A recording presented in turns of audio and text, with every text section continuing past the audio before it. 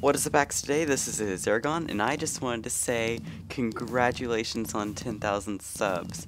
Um, I just, I just wanted to say congratulations because I've known you for a pretty long time now, and this is a huge milestone, and I am really glad that you've hit this after a while. Not sure how long it's been, but that's pretty much all I wanted to say. I just wanted to say congratulations on hitting 10,000 subs, and I wish you luck growing your channel in the future. So that's it, and I will see you next time.